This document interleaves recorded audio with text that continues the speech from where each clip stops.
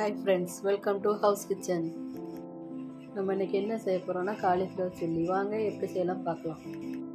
நல்லா அடுப்பில் ஒரு கடாய் எடுத்து வச்சுக்கோங்க. அதில் தேவையான தண்ணி சிறிதளவு மஞ்சள் பொடி உப்பு போட்டு கொஞ்சம் வச்சுக்கோங்க தண்ணி நல்லா கொதி வந்தோடனே அடுப்பை அணைச்சிக்கோங்க. இப்போ வெட்டி சுற்றி செய்து வச்சுருக்க காலிஃப்ளவர் சூடு பண்ணி வச்சுருக்க தண்ணியில் போட்டுக்கோங்க. பத்து நிமிஷம் தண்ணியில் அப்படியே விட்டுருங்க. அப்போ தான் அதில் உள்ள புழுக்கள்லாம் சாகும்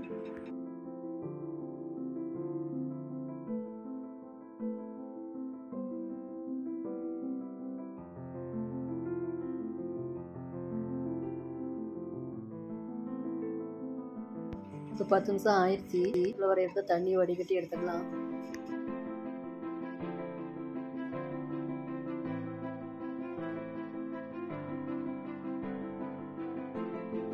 ஒரு பவுல் எடுத்துக்கலாம். அதில் மூணு ஸ்பூன் கடல மாவு போட்டுக்கோங்க.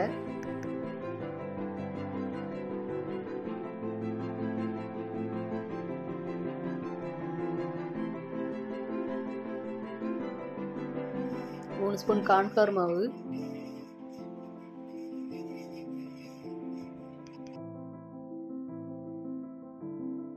ஒரு ஸ்பூன் மிளகாத்தூள். கால் ஸ்பூன் மஞ்சள் பொடி.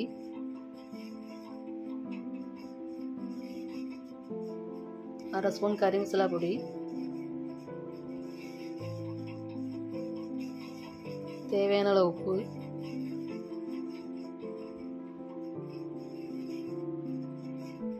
அரை ஸ்பூன் இஞ்சி பூண்டு பேஸ்ட்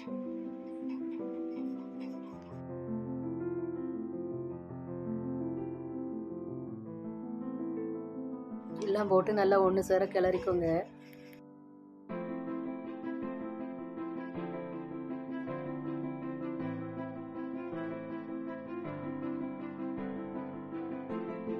தேவையான தண்ணி ஊற்றி நல்லா பிசைஞ்சுக்கோங்க.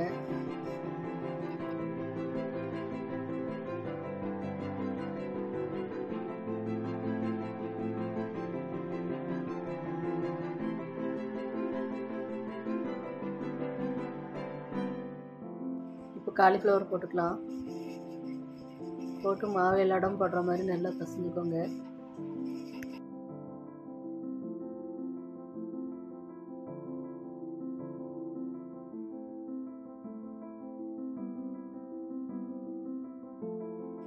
நல்லா பிசைஞ்சு ஒரு அரை மணி நேரம் ஊற வைங்க.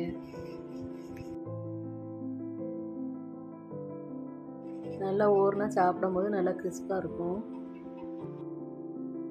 இப்போ அரை மணி நேரம் ஆயிடுச்சு ஒரு கடாய் எடுத்துக்கலாம். கடாயில் தேவையான எண்ணெய் ஊற்றிக்கோங்க எண்ணெயை நல்லா ஹீட் பண்ணுங்க.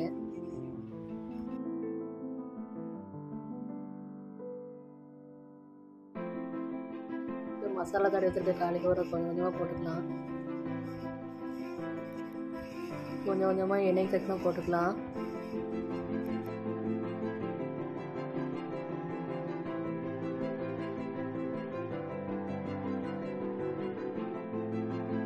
போட்ட உடனே கரண்டி போட்டு கிண்டாதீங்க.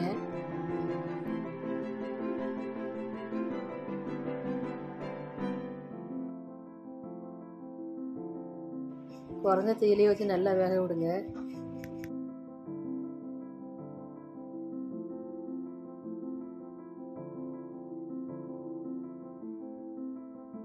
இப்போ வெந்துச்சு மெதுவாக திருப்பி விட்டுக்கலாம்.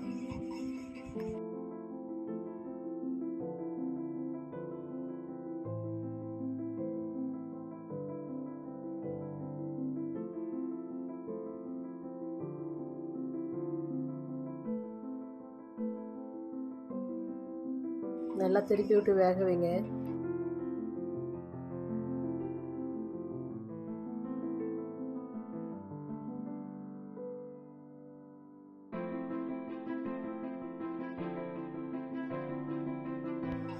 இப்போ ரெண்டு சைடும் நல்லா வந்துருச்சு.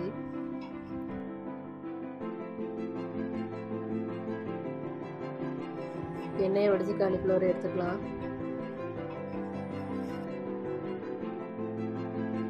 நல்லா எண்ணெயை வடித்து டிஷ்யூ பேப்பரில் போட்டு எடுத்துக்கோங்க. எக்ஸ்ட்ரா ஆயில் இருந்தாலும் அது உறிஞ்சிக்கிறோம்